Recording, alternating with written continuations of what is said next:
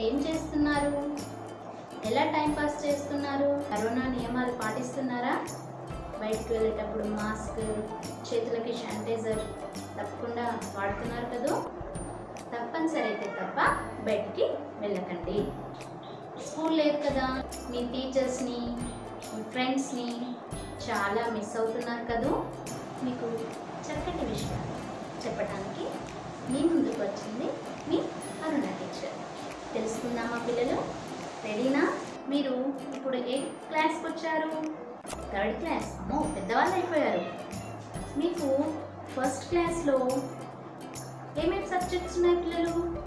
Telugu English మరియు maths. మరి ఇప్పుడు థర్డ్ క్లాస్కి వచ్చారు కదా.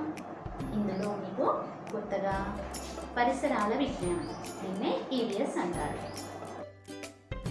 మీరు స్కూల్లో అన్నిటికన్నా ఏ పీరియడ్ని ఇష్టపడతారు? ఓ గేమ్స్ పీరియడ్ ఆటల పీరియడ్. అవునా? ఆటలంటే మీ అందరికీ చాలా ఇష్టం కదూ? మరి ఇప్పుడు స్కూల్ లేదు కదా ఎలా టైం పాస్ చేస్తున్నారు?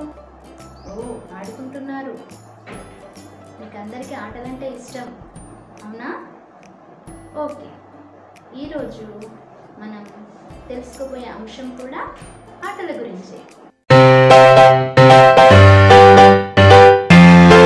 మరి ఆటల గురించి కొన్ని విషయాలు తెలుసుకుందామా? పదండి. చూడండి పిల్లలు నేను ఎక్కడున్నాను ఇదేంటి? పార్క్. ఓ మీకందరికీ పార్క్ అంటే తెలుసా? ఎక్కడ చూశారు? ఆ, సిద్దిపేట. కోమటి చెరువు దగ్గర పార్క్ ఉంది కదూ? అందులో మీరు ఇవన్నీ చూసారా ఉయ్యాలు ఊగడం జారుడు వల్ల జారడం. చూసారా పిల్లలు? మీకు పార్కుకు వెళ్ళినప్పుడు సంతోషంగా ఉంటుంది కదూ? పిల్లలు మీకు ఇక్కడ ఒక చిత్రం చూపిస్తున్నాను. చూడండి.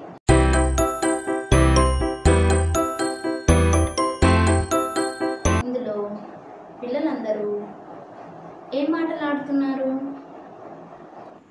జారుడు బల్ల కబడ్డీ ఆట వెరీ గుడ్. ఇంకా?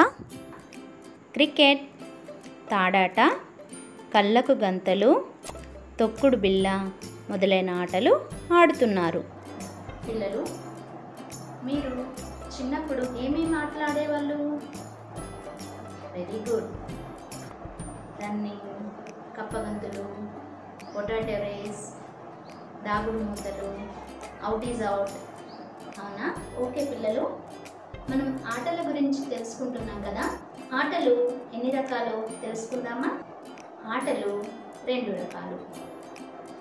ఒకటి బయట ఆడుకునేవి మరొకటి ఇంట్లో లేదా తక్కువ ప్లేస్లో లోపల ఆడుకునేవి.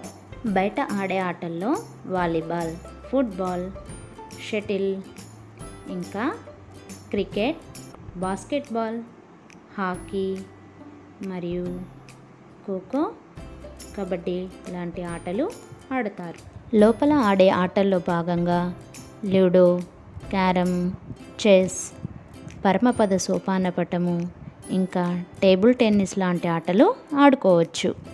వీటితో పాటుగా పాతకాలంలో పచ్చీసు పులిమేక పెద్దష్టచర్మ దాగుడు మూతలు ఓమన గుంటలు బొంగరం ఆట రాజు రాజురాణి దొంగ పోలీస్ ఇసుకలో పిట్టగుళ్ళు రకరకాల బొమ్మలతో బొమ్మరిల్లు చక్కగా ఆడుకునేవాళ్ళు. పిల్లలు మనం ఇన్ని రకాల ఆటల గురించి తెలుసుకున్నాం కదా? మరి ఆటలు ఎందుకు ఆడుకోవాలి? వెరీ గుడ్ ఆటలు ఆడినప్పుడు మనము ఎంతో ఆనందాన్ని పొందుతాము. ఆటల వల్ల ఆనందం మాత్రమే కాకుండా ఇంకా చాలా ఉపయోగాలు ఉన్నాయి అవేంటో తెలుసుకునే ముందు మిమ్మల్ని ఒక ప్రశ్న అడుగుతాను. చెప్పండి. ఈ రోజుల్లో పిల్లలు ఎక్కువగా ఎలా టైం పాస్ చేస్తున్నారు? పిల్లలు పెద్దలు అందరు కూడా ఫోను టీవీలకు ఎక్కువగా అలవాటయ్యారు. పిల్లలు మీరు కూడా అదే పనిగా టీవీలో కార్టూన్ ఛానళ్ళు డొరబుజ్జి లిటిల్ సింగం పాపెట్రోల్ చూస్తున్నారు కదూ? శరీరానికి ఆరోగ్యాన్ని మనసుకి ఆనందాన్ని ఇచ్చే ఆటల్ని ఆడకుండా ఇలా ఫోన్లు టీవీలు ఎక్కువసేపు చూడటం వల్ల మీ కంటి చూపు దెబ్బతినడమే కాకుండా మీ ఎదుగుదల కూడా సరిగా ఉండదు. మరి ఇప్పుడు కరోనా సమయం కదా ఎలా ఆడుకుంటాం టీచర్? అనుకుంటున్నారా? ఇక్కడ చూడండి ఈ అబ్బాయి బాస్కెట్బాల్ని ఎలా ప్రాక్టీస్ చేస్తున్నాడో.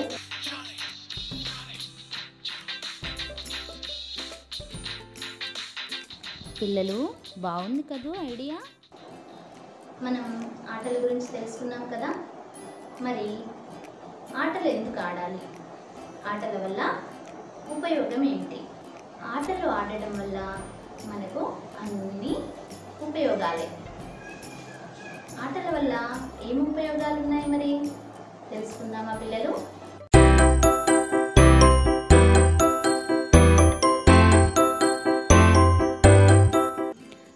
పిల్లలు ఆటలు ఆడడం వలన చురుగ్గా హుషారుగా ఉంటారు. ఆటలు ఆడిన తర్వాత ఏ పని చేసినా ఉత్సాహంగా చేస్తారు. వాళ్ళ మెదడు కూడా ఆటలు ఆడిన తర్వాత చురుగ్గా పనిచేస్తుంది. పిల్లలు ఆటలు ఆడడం వలన వారిలో ఏకాగ్రతతో పాటు జ్ఞానం కూడా పెరుగుతుంది. ఉదాహరణకు క్యారం వలన ఏకాగ్రత చెస్ వల్ల ఏకాగ్రతతో పాటు జ్ఞాపశక్తి కూడా పెరుగుతుంది. ఆటలు ఆడటం వలన పిల్లల శారీరక మానసిక ఆరోగ్యం బాగుంటుంది.